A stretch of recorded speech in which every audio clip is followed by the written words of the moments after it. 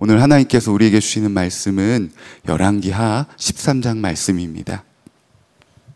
제 13장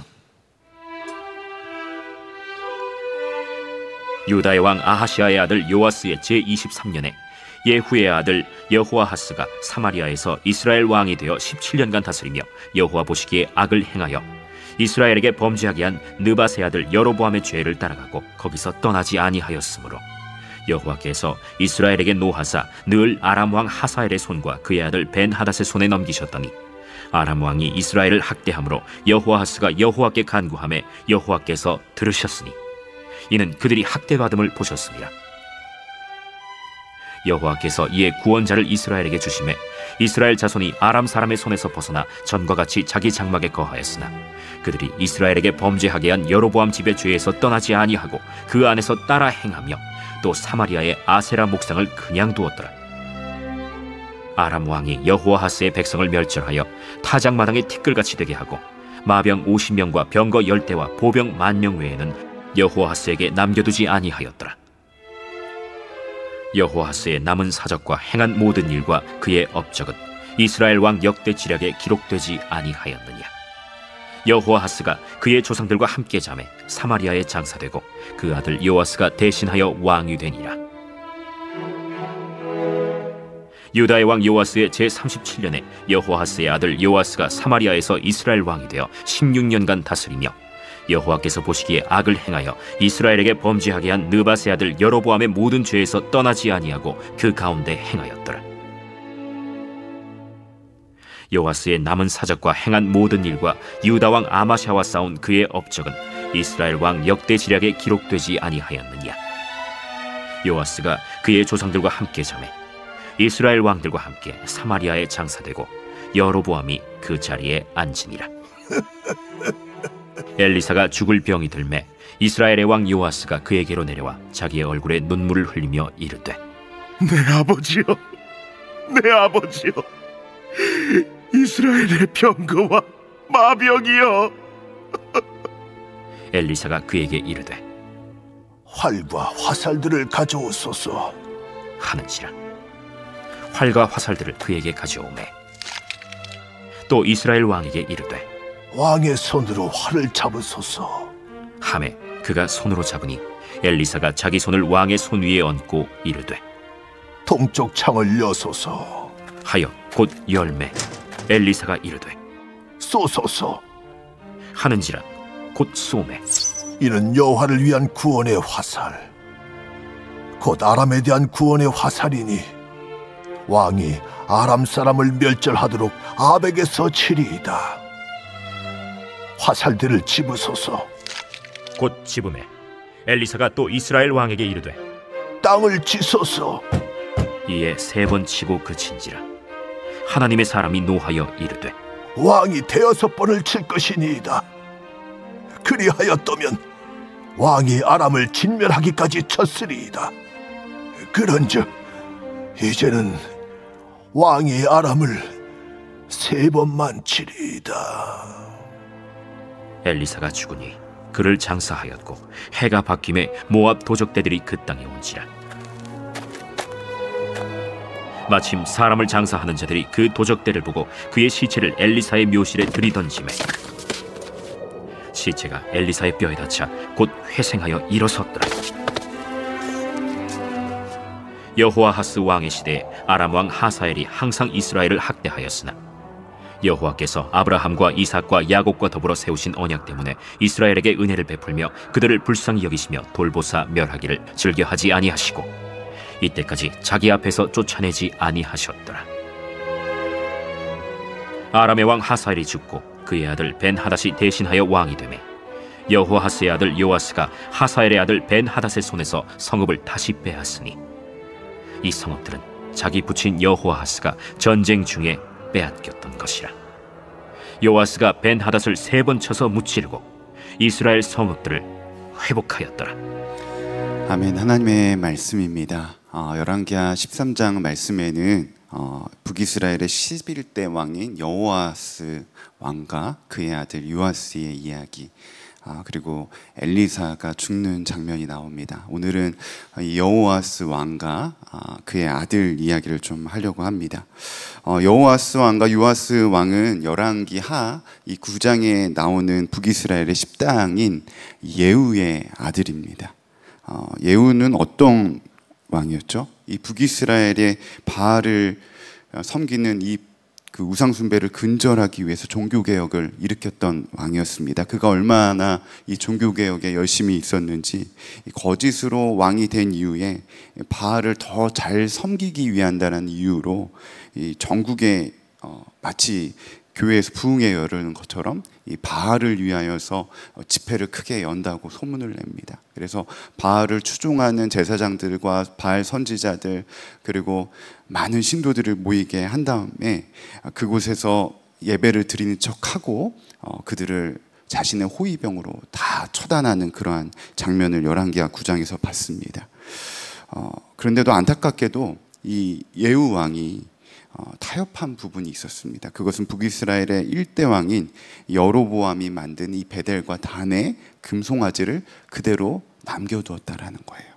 왜 바알은 처담해나면서 금송아지를 남겨두었을까요? 정치적인 이유가 있는데요. 말씀을 한번 찾아볼게요. 열왕기 상 12장 27절에서 29절 말씀입니다. 제가 봉독합니다. 이 백성이 예루살렘에 있는 주님의 성전으로 제사를 드리려고 올라갔다가 그들의 마음이 그들의 옛 주인인 유다 왕 르호보암에게 돌아가게 되는 날이면 그들이 자기를 죽이고 유다 왕 르호보암에게 돌아갈지도 모른다는 생각이 들었다. 왕은 국리를 한 끝에 금송아지 상 두 개를 만들었다. 그리고는 백성에게 이렇게 말하였다. 예루살렘으로 올라가는 일은 너에게 너무 번거로운 일이다. 이스라엘 백성들아, 너희를 이집트에서 구해 주신 여, 주신이 여기에 계신다. 그리고 그는 금송아지 두 개를 하나는 베델에 두고 다른 하나는 단에 두었다. 아까 이야기 들었던 것처럼 정치적인 이유가 있었다고 했죠. 당시 성전은 예루살렘에 있고 이 각 절기 때마다 어떠한 어, 제사를 드릴 때마다 성전을 찾아가야 했습니다. 그 성전이 남유다에 있다 보니까 이 북이스라엘의 왕인 이 여로보암의 마음에서는 혹시라도 자신의 백성들이 이 르호보암 왕에게 마음을 빼앗길까 하는 두려운 마음이 무엇을 만들게 된 거죠? 우상.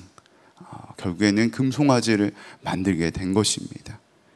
자신의 나라를 안위를 위한다란 그러할 듯한 이유가 있었지만 금송아지를 두는 것은 어디까지나 하나님 앞에서 범죄하는 거였고 명백한 죄였습니다. 어떤 그럴듯한 이유가 있어도 죄는 죄입니다. 결국 이 안타까운 상황은 후대에 어떤 영향을 나타냅니까? 열왕기하 13장에 보면 반복적으로 계속해서 나오는 구절이 있어요. 이스라엘을 범죄하게 한 느바세 아들 여로보암의 죄를 따라가고. 6절 이스라엘에게 범죄하게 한 여로보암의 집에서 집의 죄에서 떠나지 아니하고. 11절 이스라엘에게 범죄하게 한 느바세 아들 여로보암의 모든 죄에서 떠나지 아니하고. 여로보암 때부터 시작된 이 금송아지 우상 숭배의 죄가 이 북이스라엘의 백성들에게 계속해서 어떻게 되고 있죠? 대물림 되고 있는 것을 보게 됩니다. 이처럼 여러분 죄의 속성은 분명합니다. 죄에 대해서 철저한 회개로 끊어내지 않고 돌이키지 않으면 그 죄는 자정 기능이 있나요? 없어요. 죄는 소멸되는 것이 아니라 죄는 점점점 더 악해집니다. 죄의 속성 중에는 지속성이 있다는 것입니다. 여러분 우리의 삶에도 이 여로보암의 이 금송아지와 같이 그럴 듯한 핑계를 대면서 죄를 합리화하고 있는 부분이 있지 않습니까? 안타까운 것은 죄를 죄로 인식하지 못하게 할 정도로 이 금송아지 우상숭배가 당연한 것처럼 여기게 만드는 그러한 상황과 환경이 계속해서 사단은 불어넣어 준다는 것입니다. 현대 사회를 살아가는 우리의 삶을 돌아보면 얼마나 그런 영역들이 많이 있습니까?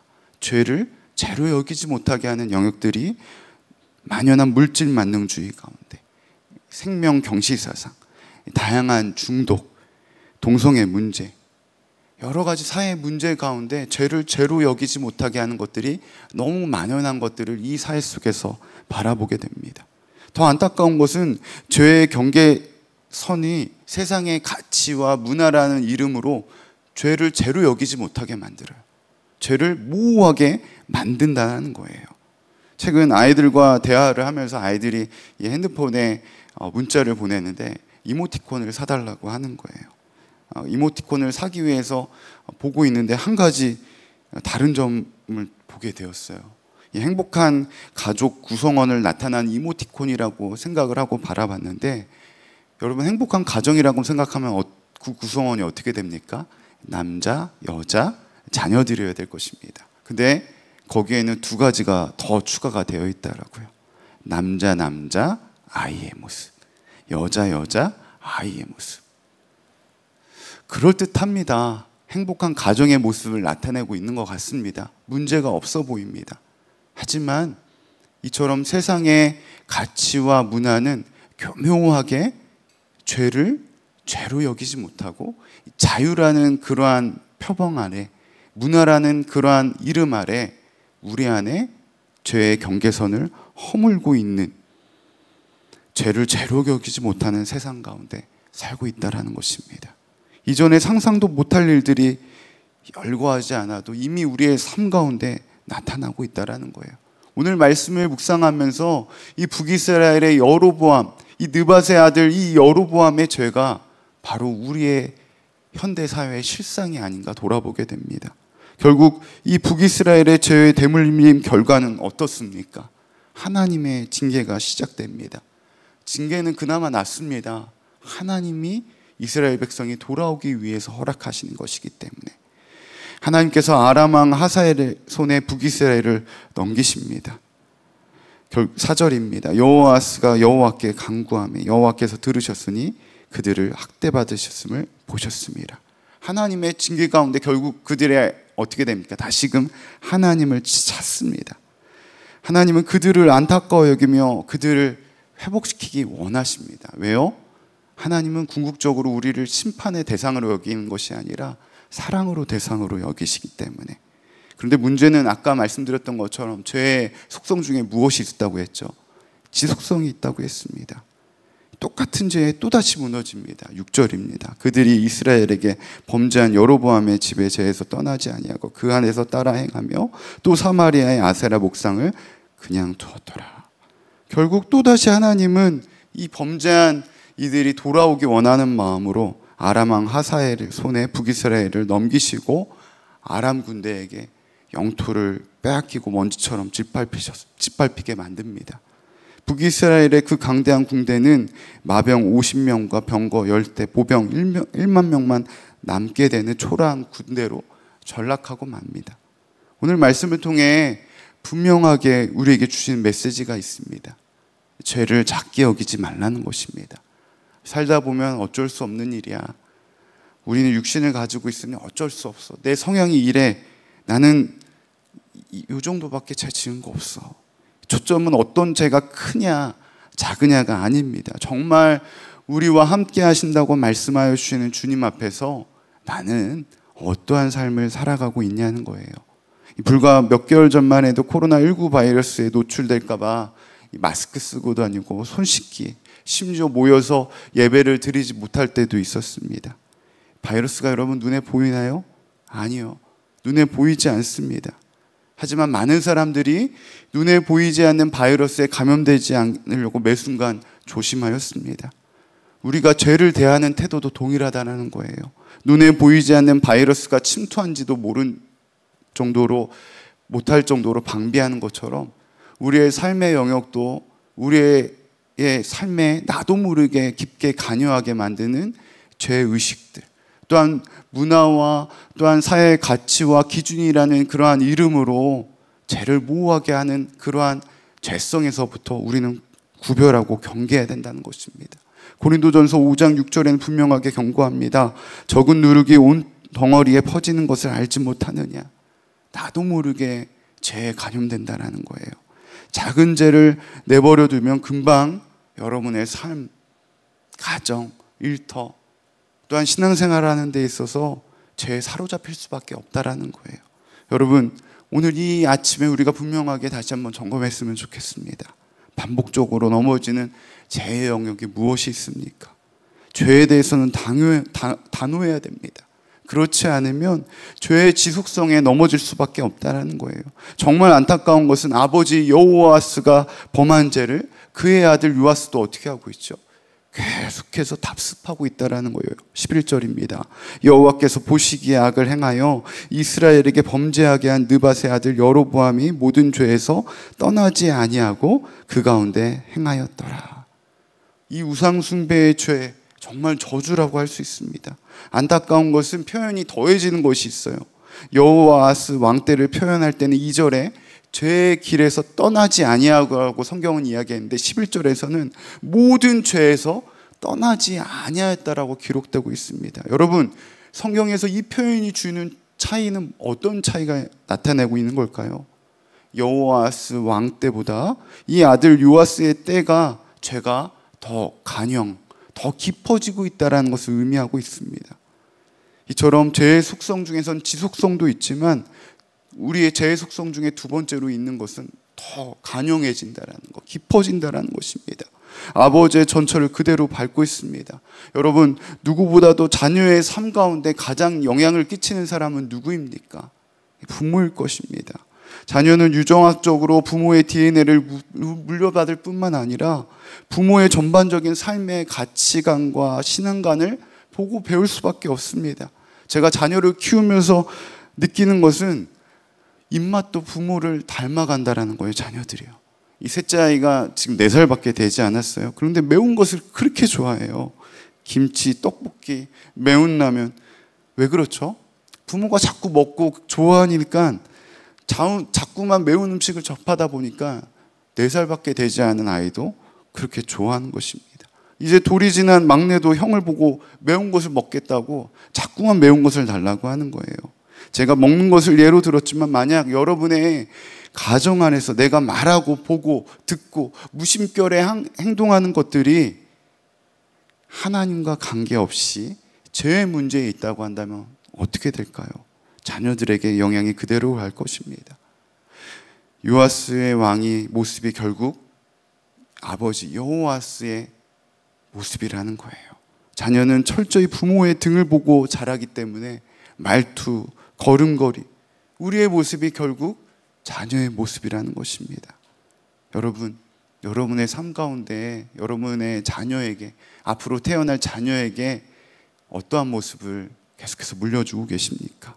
지금까지 제게 무감각하게 한 삶, 무감각하게 살아왔던 삶, 가정에서부터 자녀들에게서 자녀들에게 하나님 앞에서 잘못된 것을 알면서도 제 무너진 삶을 살고 계시지 않습니까? 혹시라도 그것이 후회되시거나 너무 늦었다고 낙심되는 분이 계실지 모르겠습니다. 그러나 우리가 낙심하고 좌절할 시간이 없습니다. 왜 그렇습니까? 우리에게는 우리에게 허락되어진 그 자녀와 함께 할 수 있는 시간이 언제까지일지 어느 누구도 보장할 수 없다라는 것입니다.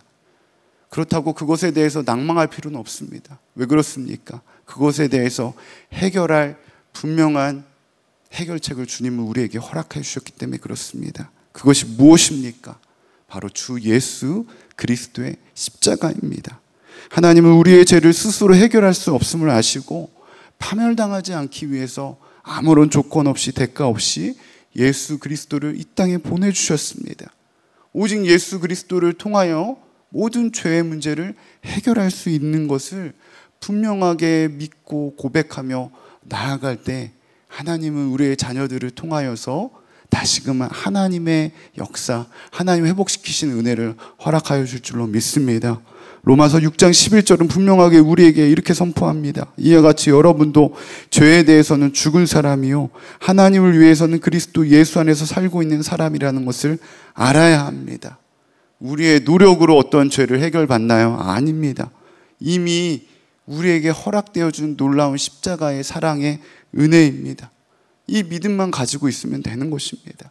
열왕기하 13장에는 이 은혜에 대해서 죄에 대해서 무너진 이 북이스라엘의 참상도 보여주지만 이 은혜에 대해서 계속해서 증언하고 있습니다. 여호와스가 아람 군대의 침공 소식을 하나님을 찾자. 하나님은 한치도 고민하지 않으시고 반복적으로 무너, 죄로 무너지는 북이스라엘에게 구원자를 보내셨던 하나님입니다. 5절을 다시 한번 볼까요?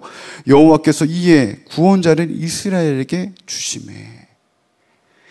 여기서 구원자는 많은 학자들이 남유당 유아스다. 당시 아수르 왕 아나 아다드니라 왕이다. 다양한 이야기가 있지만 결국 대부분의 학자들이 말하는 견해는 엘리사를 의미합니다. 실제로 북이스라엘의 선지자로 하나님은 엘리사를 통하여서 이스라엘에게 구원의 역사를 끊임없이 나타내셨습니다. 엘리사가 죽은 이후에도 하나님의 은혜가 끊어집니까? 아닙니다. 변함없이 동일했습니다. 열왕기하 23, 23절에는 이렇게 말합니다. 그러나 주님께서 이스라엘에게 은혜를 베푸셔서 그들을 불쌍히 여기시고 그들을 굽어 살피셨다. 이는 아브라함과 이삭과 야곱과 맺으신 언약 때문이었다. 그래서 그들을 멸망시키지 않으시고 이제까지 주님 앞에서 쫓아내지 않으셨다. 정말 아멘입니다. 여전히 변화되지 않은 이스라엘의 모습이었지만 하나님은 그 이전에 변화되지 않은 죄악된 모습의 징계, 심판하시려고만 하는 것이 아니라 그 이전에 아브라함과 이삭과 야곱과 맺은 언약, 약속을 먼저 기억하시고 이스라엘 백성이 회복되기를 기다리셨다는 것입니다. 여러분, 우리가 자꾸만 하나님에 대해서 착각하는 것이 하나님은 징계하기 원하시고 심판하신 하나님이라고만 생각한다라는 것입니다. 오늘 말씀을 통해서도 분명하게 깨닫게 되지 않습니까? 하나님이 우리를 향한 시각은 우리를 심판하고 징계하기 원하시는 하나님이 아니라 정죄하기 원하시는 하나님이 아니라 정말 돌아오기 원하는 하나님 아버지 마음. 집을 떠난 탕자가 돌아오기를 끊임없이 기다렸던 아버지의 마음을 나타나고 있다라는 것입니다. 사랑하는 여러분, 오늘 우리가 다시금 회복하고 붙들어야 될 것은 무엇일까요? 아, 죄에 무너졌구나. 죄로 인해 이제 나에게 남은 것은 징계밖에 없구나. 아닙니다. 오늘 북이스라엘이 다시금 돌아오기 원하셨던 하나님 아버지처럼 또한 우리의 다음 세대에게 온전히 하나님의 사랑을 전하기 원하신 아버지의 마음을 오늘 붙들 수 있다라는 것입니다. 오늘 우리가 이 아침에 분명하게 붙들고 기도해야 될 것 다른 것이 아닙니다. 내 안에 반복적으로 넘어진 이 죄의 문제를 해결하신 예수 그리스도. 또한 내가 분명하게 나의 다음 세대 자녀들에게 손자 손녀들에게 전해야 될 예수 그리스도. 그 주님이 실제가 되어 그 주님을 분명하게 전하고 분명한 십자가의 은혜를 누릴 수 있는 저와 여러분 되시기를 간절히 축복합니다. 오늘 이 시간 세 가지 기도 제목 붙들고 함께 기도하기 원합니다. 첫 번째로 붙들고 기도하기 원하는 말씀은 11절 말씀입니다. 여호와께서 보시기에 악을 행하여 이스라엘에게 범죄하게 한 느바세 아들 여로보암의 모든 죄에서 떠나지 아니하고 그 가운데 행하였더라. 첫 번째로 기도하며 나아갈 때 여러분도 여러분 안에 반복적으로 죄를 죄로 여기지 못하고 주님 앞에서 은밀한 죄 가운데 습관적으로 계속해서 넘어진 죄가 있습니까? 이 시간 기도하며 나아갈 때 주님 절대로 죄를 작게 여기지 않게 하여 주시옵소서. 이 시간 죄를 분명하게 고백하고 회개하며 나아갈 때 죄를 끊어버리는 은혜의 역사가 시작되어지게 하여 주시옵소서라고 우리 합심으로 다 함께 기도하며 주님께 나아갑니다. 오 아버지 하나님, 내 안에 하나님 계속해서 죄를 죄로 여기지 못하고 반복적으로 하나님 죄악 가운데 넘어지고 있는 죄의 영들이 있지 않습니까? 이 시간 아버지 회개하며 나아갑니다. 죄를 열쇠로 여기지 못한 채 반복적으로 넘어진 모든 죄의 문제들을 하나님 이 시간 회개하며 나아가오니 용서하여 주시옵시고 하나님 내 안에 은밀한 죄, 습기란적인 죄가 예수 이름으로 끊어지는 은혜의 역사가 시작되어지기 원합니다. 하나님, 하나님 나의 안에 타협하고 있는 것들이 무엇이 있습니까? 나의 생각 가운데, 나의 삶의 행동 가운데 하나님 타협하고 있는 것들이 무엇이 있습니까? 하나님 내 안에 반복적으로 답습하고 있는 지속하고 있는 모든 죄의 문제들이 예수 이름으로 끊어지기 원합니다. 하나님 나의 생각이 나의 가치가 하나님 죄에 민감하게 반응하며 나아가게 하여 주십시오. 온 시간 아버지와 회개하며 나아갈 때 죄를 단호하게 끊어버릴 수 있는 믿음의 은혜를 주십시오. 나는 할 수 없지만 예수 그리스도의 십자가가 나에게 이미 허락되어지는 놀라운 죄에서 자유함을 고백 자유함이며 고백하며 나아가오니 죄를 끊어내고 죄를 죄로 여기며 회개하며 나아갈 수 있는 믿음의 은혜를 더하여 주시옵소서. 우리 두 번째로 기도하며 나아갈 때는 23절 말씀 붙들고 함께 기도하기 원합니다. 여호와께서 아브라함과 이삭과 야곱과 더불어 세우신 언약 때문에 이스라엘에게 은혜를 베풀며 그렇습니다. 죄에 무너졌을 때 우리가 무너진 상태로 끊어질 것이 아니라 우리가 붙들 것은 무엇입니까? 우리를 용서하시고 함께 하시겠다고 약속하신 하나님의 말씀인 줄로 믿습니다. 이 시간 다시 한번 기도하며 나아갈 때 그 약속의 주님을 분명하게 바라보며 나아가게 하여 주시옵소서. 내 안에 하나님께서 허락하여 주시는 그 은혜로 말미암아 나는 이미 죄에서 승리하였다. 나는 죄에서 자유케 되었다라는 분명한 믿음의 고백이 이 아침 가운데 우리의 고백이 되어지게 해달라고 합심으로 기도하며 나아갑니다. 오 아버지 하나님, 내가 죄에서 무너졌을 때 우리를 용서하시고 함께 하시겠다는 약속의 하나님을 붙들며 나아가게 하여 주십시오. 하나님께서 허락하여 주시는 그 약속의 은혜를 붙들며 나아가기 원하오니 주님, 주 예수님 그 용서의 주님 용서의 십자가가 분명하게 고백되어지고 그 약속의 하나님을 붙들고 나 아갈 수 있는 믿음의 은혜를 더하여 주시옵소서. 그리하여 하나님 나를 회개하시고 회개하며 용서하고 돌이키고 함께하여 주시겠다는 그 주님의 은혜의 역사가 실제가 되게 하여 주시옵시고 주 주님의 은혜로 말미암아 믿음으로 살아갈 수 있는 믿음의 은혜를 더하여 주시옵소서. 우리 마지막으로 한 번 더 기도하며 나아갈 때는 우리의 자녀들 다음 세대를 위해서 합심으로 기도합시다. 하나님 내 안에 분명한 믿음의 은혜 그 십자가 은혜를 더하여 주셔서 나의 자녀들에게 믿음의 본이 되는 부모 세대가 되게 하여 주시옵소서. 정말로 내가 부모로서 부끄러움 없는 그러한 믿음, 그러한 은혜를 누릴 수 있는 귀한 은혜의 통로로 주님 나를 사용하여 주시옵소서라고 우리의 자녀들의 이름 한 사람 한 사람 올려놓으며 우리 다 함께 주님의 이름 한번 부르고 더욱더 깊은 기도의 자리로 나아가겠습니다. 주여 주 예수님 하나님 하나님 믿음의 세대가 되어지기 원합니다. 내가 먼저 믿음의 부모 세대가 되어지기 원합니다.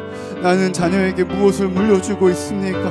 내가 먼저 주 예수 그리스도의 십자가로 붙들려 내가 먼저 변화되어지기 원합니다. 사랑하는 자녀들에게 하나님 정말로 믿음을 물려주기 원합니다. 내 안에 하나님 여전히 아버지여 답습하고 있는 죄의 영역들 여전히 아버지 돌이키지 못하는 그러한 죄의 영역들 하나님 자녀들에게 하나님 귀한 하나님 믿음의 은혜를 흘려주기 원합니다.